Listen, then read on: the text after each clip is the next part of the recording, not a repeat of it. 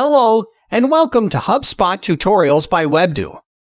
I am Mike, your guide and friend. Our today's tutorial is about how to manage your properties. In HubSpot, properties are used to store data on HubSpot standard CRM objects, custom objects, and products. Let's see how you can do this.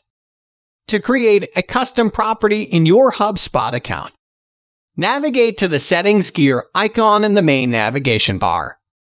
In the left sidebar menu, navigate to Properties. In the Select an Object section, click the drop-down menu and select the object you want to create a property for. Here I am selecting Contact Properties as an object. In the upper right, click Create Property. In the right panel, set up your property. Select the object that the property will be for. By default, this is the object type you selected earlier. Then, select the property group the property should belong to. Here I am selecting contact information. Enter text for the name, the property in the label box. Enter text to further describe the property in the description box. Click Next. Then click the Field Type drop-down menu and select the field type for this property. Here I'm selecting single line text. Click Create and Done.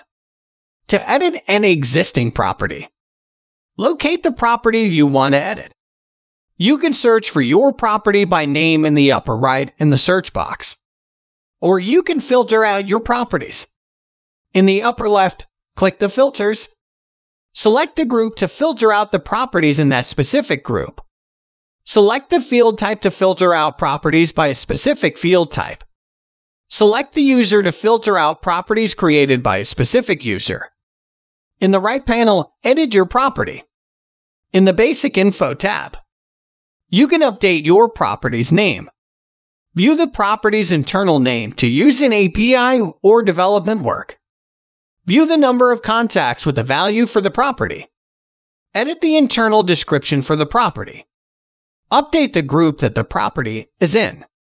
In the field type, you can toggle on or off the use in forms and box checkbox.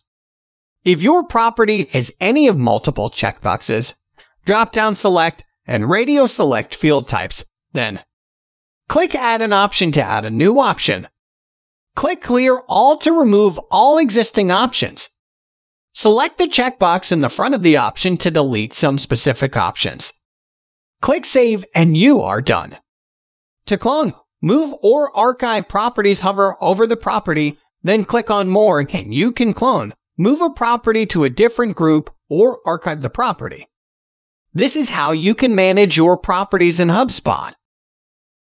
Thanks for watching. Feel free to ask any questions in the comment section, and we will be happy to answer.